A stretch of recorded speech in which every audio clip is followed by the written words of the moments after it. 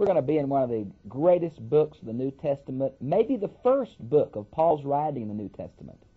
It's an expression of the radically new and free truth that man can be right with God based totally on the initiating love of God, the life and death and resurrection of Christ, and man's faith response.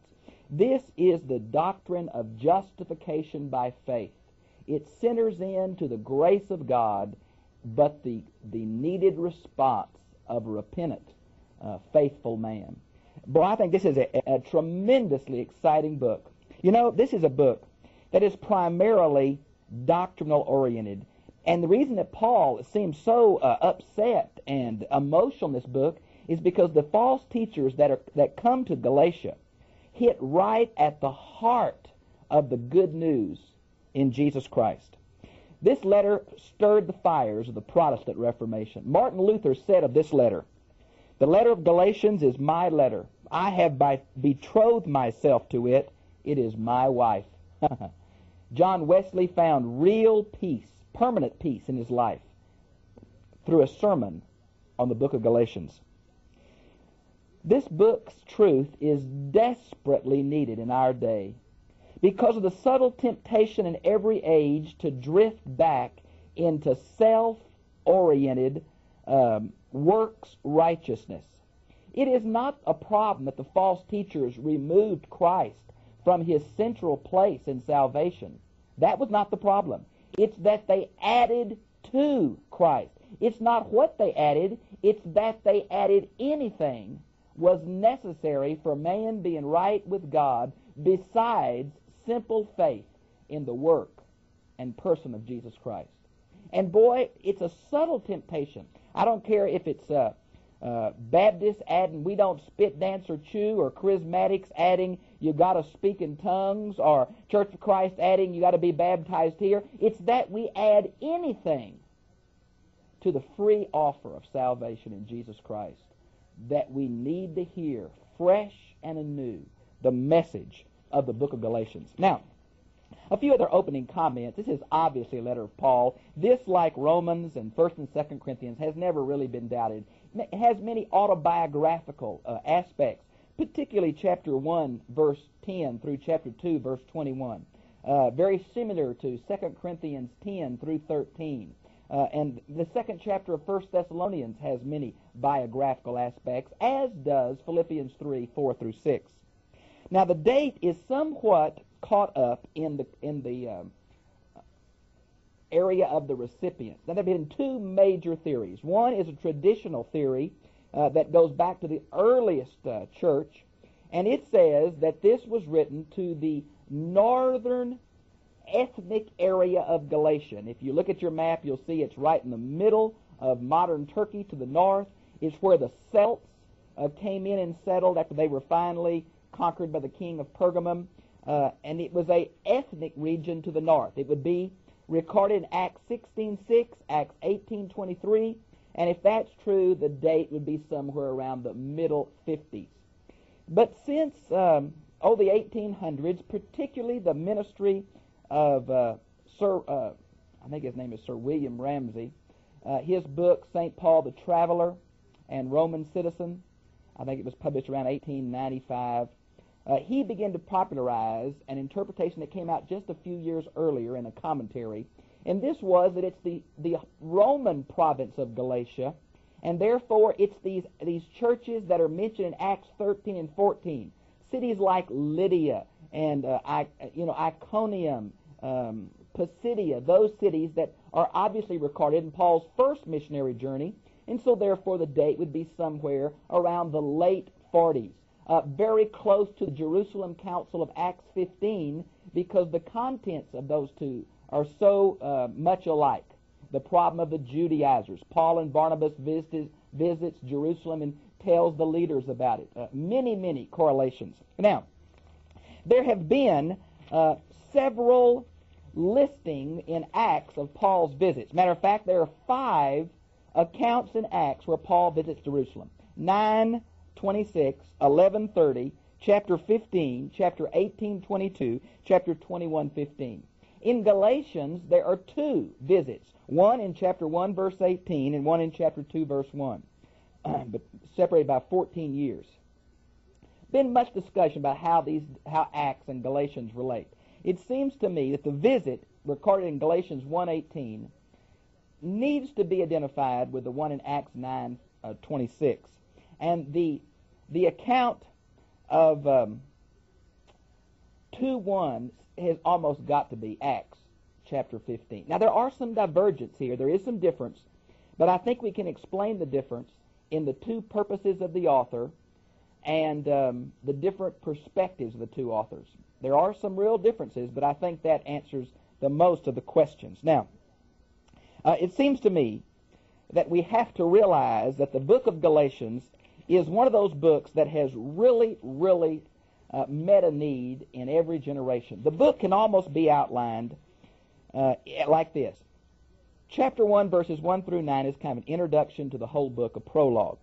Chapter 110 through 221 is a personal defense of Paul, very autobiographical about how he is independent from the apostles in Jerusalem, and his message came directly from God through Christ, not through simply the apostles or the authority of the Jerusalem church. Then, uh, the essence of Paul's good news, chapters 3 and 4. Then some of the practical implications of Paul's gospel is in chapters 5 uh, through chapter 6, verse 10. Then chapter 6, 11 through 18 is an epilogue or conclusion. It's obvious that Galatians is related to 1st and 2nd Thessalonians and particularly Romans. Many scholars see the order as being 1st and 2nd Thessalonians, Galatians, and Romans. But that, that uh, depends on when you see the date of the book. I really think Galatians or 1st Thessalonians is Paul's first book and we just can't be certain about that. With that brief introduction in mind, uh, let's go to the text itself then, if we could. Paul, verse 1. Now, the word Paul means little. If you take the word uh, Saul into Greek, it means an effeminate waddler. Yuck! Who wants to be called an effeminate waddler? Many of us think that maybe everybody had a, uh, a, a Hebrew name and a Greek name, and Paul was always Saul and Paul. But we're not sure. He began to take the name when he realized he was going to work with Gentile churches. Now, the word Paul means little. A, a uh, second century tradition says that Paul was short and bow legged and bald with bushy eyebrows and protruding eyes. Oh, my. Some say he, he took the name Paul because he was short. But really, I think if you look at verse 13, where he persecuted the church, and how badly he felt about that, particularly how he records it in 1 Corinthians 15:9, the word little made me in the sense of least of the apostles. But you must understand, though he considered himself the least of the apostles in the sense that he persecuted the church. Friends, when it comes to the churches of Galatia, he's going to say, I'm an apostle on rank with the other 12. I even confronted Peter to his face. Uh, and so he's really going to stand up here for his apostleship. Now, the next little phrase does say, an apostle sent, and then there's another phrase. Now, the word apostle is the Greek word apostello, which means sent one. Following a Hebrew word and the synagogue use of that term, as someone sent with official authority, this word came to be used much like our term ambassador. If you want to see a good reference to the idea of apostle and sent, you might want to see Luke 6:13 where Jesus uses that term for the 12. Now in all of Paul's letters, he mentions he's an apostle except Philippians, 1st and 2nd Thessalonians and the little book of Philemon. Every other one he mentions it. But he really makes a strong statement of it here because apparently his authority had been challenged. I think the reason he's going to go into a defense of himself is because the false teachers, who we think are the Judaizers, I'll discuss in just a minute, have made him an issue and his gospel an issue. Now, notice this strong phrase where it says, not from men or by any man, but by Jesus Christ and God the Father. Wow, what a strong statement. He's going to repeat that again uh, later on the letter. Now, what does it mean? Not from men, the plural, or by any man. Well, I think it goes back to the fact they were saying Paul gets his authority from the Jerusalem apostles and church. Or they were saying Paul's not really an apostle at all. Because when you look at the credentials recorded in Acts 2:26, uh, Paul didn't meet all those conditions. He didn't, he didn't walk with the Lord during the Lord's lifetime. Now, Paul claims he did see the Lord on the road to Damascus. So there is an element of truth in the accusations the false teachers are making. Uh, they're going to uh, accuse him of being fickle, probably that he circumcised Timothy but didn't circumcise Titus. He's going to say, well, he says one thing to, to you, Gentile churches, but he says another thing to Jewish churches. And Paul's going to defend himself of that. Now, Paul did become all things to all men that he might win some, but not in the sense of compromising the gospel. And Paul sees these false teachers as hitting an essential element of the good news in Christ. That's why he's so offensive here. Wow, I'll tell you what. Now, um, let's see. Okay. Notice it says, and by Jesus Christ. You might well see chapter 1, verse 17. This obviously refers to the road to Damascus experience. Jesus himself uh, came to Paul. Jesus himself revealed the essence of the gospel to Paul. Now, we're not saying Paul didn't know something of the gospel uh, from other people. Obviously, because he was such a, a, a, zealous persecutor, he heard something of the gospel from the Christians that he tried to make recant. It's obvious that he heard the uh, last sermon of Stephen, where he held the cloaks of them that killed Stephen. Uh, it's obvious that he talked to Peter and James about three years after he was converted. It's obvious he learned something from Ananias. Um, he includes some of the early hymns of the church and poems of the church. So he's not saying he never heard anything from anybody else, but the essence of the gospel he got from Jesus himself. Now there's one preposition here linking Jesus and God the Father, which is a very strong way of affirming the, the full deity of Christ, uh, who raised him from the dead. Now, there's two different ways of looking at this. Most passages it asserts that, that the Father raised Jesus, and I've given you multitude of those in your notes. But Jesus does say in John 10, 17, and 18 that he raised himself. So the Trinity is active in all aspects uh, of the work. And I think it's important we see that. Now, notice where it says, verse 2, and all the brothers who are with me. Now, some say there's two purposes of this. One, all those who are here from where I'm writing, which depends on which theory, the Northern Galatian theory or the Southern Galatian theory, all that are here agree with what I'm going to say, meaning they don't agree with you and the Judaizers, they agree with me. Or it's a way of linking all the other missionary companions in what he says. They're not co-authors, but they do agree in what Paul says. Now, if it's the, the uh, Southern Galatian theory, Acts 13 and 14, it's Barnabas. If it's the uh, Northern Galatian theory, Acts uh, 16, 6, 18, 23, it's Silas and Timothy. Okay? Now, notice what it says, to the churches of Galatia. Notice it's the churches of an area. It's to, it, this is a cyclical letter. Now, of course, Galatia, we wonder exactly uh, what group it is, but it's either the ethnic Galatia or the Roman administrative Galatia. Verse 3. Spiritual blessing. This is the word uh, charis, word for grace. The usual Greek reading was chairein, which means rejoice. And Paul just changed it to make it uniquely Christian. Grace and peace. Some say it's the way of the Greek grading, chairein, kind of charis, and the Hebrew greeting, shalom. Maybe that's true, but we can't draw a whole lot from it. It's kind of be a set formula that's in all of Paul's letters. From God the Father and the Lord Jesus Christ. Now, God the Father, of course, is Father in the sense not of, of uh, sexual generation or chronology, but in the intimate uh, family relationships in a Jewish home. It's that way. God chose intimate family terms to show man what he's really like. Now, Lord Jesus Christ. Lord is a New Testament author's way of emphasizing the deity of Christ, going back to the Jews using Adonai because they were afraid to pronounce Yahweh. If you want to see the term Yahweh, it's Exodus 3.16. Uh, Jesus, the angel gave him that name, Matthew 1.21. It means Yahweh saves. When it's used by itself, the, the New Testament authors use it for the humanity of Christ. And the word Christ, of course, is the Greek equivalent of the Hebrew word Messiah, which means the anointed one, the uniquely called, uniquely equipped, sent one from God. Now, notice where it says then, who gave himself. Now, in verses 4 is going to be, 3 and 4 are going to be a summary of the gospel. Four, I mean, three aspects found here in this verse. Number one, who gave himself for our sins. That is a very significant concept in the gospel. Jesus and who he is and what he did is the center pillar of the good news. Now, who gave himself for our sin. You might see Romans 4.25, Romans 5, 6, and 8, 1 Corinthians 15.3, 2 Corinthians 5.14 and 21. He, he, substitutionary atonement. He died for us. He died for our sin. Here's the second one. To save us from the present wicked world. It's the idea of the present evil age. It's the Jewish concept of two ages used so often in the New Testament. And here's the aspect of this current evil age. You might want to see Matthew 12:32. Uh, he, we save us to pluck us out, aorist middle. He once and for all, once and for all himself saved us, not only from sin in the future, but the current problem of sin. So we have a little bit of the kingdom of God now. It's not consummated, but He saved us out of this this present evil world. The word wicked is emphatic position. You might well see the idea this, this current age is dominated by the evil one, particularly 2 Corinthians 4 4 and Ephesians 2, uh, verses 2 through 7. Now, a, here's number th- three. In accordance with the will of God. It was the predetermined plan of God that Jesus come to die. It wasn't an accident. It wasn't an afterthought. He came to die. I think often of Mark 10:45, the central verse of Mark. Jesus said, "I did not come to be served, but to serve and to give my life a ransom for many." But here's some even stronger ones. Acts 2:22 and 23, Acts 4:27 and 28.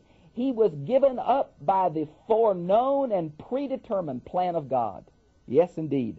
Now, you might also see 2 Timothy 1 9 uh, and I think John 3.16 says the same thing. Now, verse 5. To him be glory forever and ever. Amen. It's a closing doxology, very common to this opening prayer. Now, most books now have some word of thanksgiving about the church. It occurs in, in every book, almost of Paul, but not in Galatians. Boy, Paul's upset. And he just plunges into the problem with a gusto that has surprised, I'm sure, the readers. Here, look at verse 6. For I am astonished. Wow. What's Paul astonished about? Well, this may have been some of his very first converts who seemed to be pulling away from the centrality of the gospel, the centrality and uniqueness and onlyness of Jesus as a means of salvation. Oh my. I'm astonished that you are beginning so soon. So soon how? So soon after he left, so soon after the false teachers came. And the false teachers seem to be Judaizers, which is a word we've kind of made up. It means those who said uh, Jesus is great, but the, all the Bible is inspired, and the Bible commands that you be circumcised and keep the Mosaic law. So you've got to become a Jew before you can become a Christian. They were adding to Jesus the Old Testament regulations, the Old Testament laws.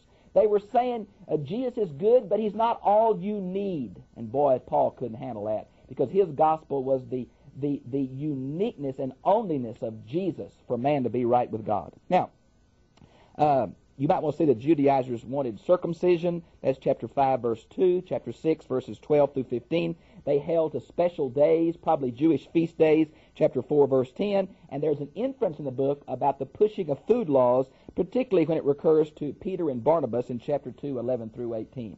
See some of the Jewish flavor there. Now, uh, notice if you would where it mentions them to turn away from him who called you by the favor of Christ. Now, this word turn away is present tense. It has a military aspect of a military revolt. They're, they're knowingly in the process of turning away. And that's why Paul wrote to stop that. Now, notice it says from him. The gospel is not about Jesus. The gospel is Jesus. They're not, uh, they're not turning, just, just fighting over little theological nitpicking. They're talking about the central issue of Christ is all you need through faith to be saved. And so it's a very important issue. Now, the him here seems to refer to God. I know that's difficult, but I think in the context it's got to be God because he who called you is often used of God the Father. Romans 8:30, Romans 9:24, 1 Corinthians 1:9. It's God who called them by means of Christ. Now, see where it says, uh, "Who called you by the favor of Christ." Most ancient manuscripts, or many ancient manuscripts, do not have of Christ. They just have grace. Uh, it's not in P46. That's one of the older ones.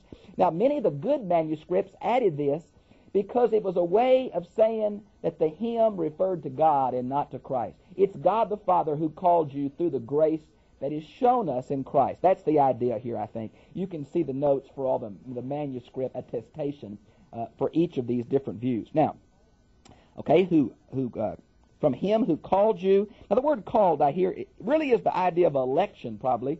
Called you out of darkness into light, called you to come to him. Some say it's the idea of God's initiating love. You know, no man comes to the Father. No, God always comes to us first. Now we'll see John 6, 44 and 65. Then notice where it says, to a different gospel. Now the word here, uh, different, is the word heteros, And some argue if it's different from the word another one down in verse 7, which is allos. Heteros and allos really in Koine Greek can be synonymous, but sometimes they have the meaning of heteros meaning a different kind and allos meaning another in a series. And so what I think Paul's saying here is not that there are two gospels and the Galatians and the false teachers were kind of leaning toward one and Paul had another. He's saying there's really only one gospel.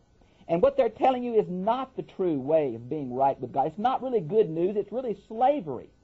Now, notice what he says to a different heteros. Now we'll see 2 Corinthians 11.4 for another use of this same idea of heteros and allos. Uh, the good news, which is not really another one. There is only uh, certain people who are trying to unsettle you.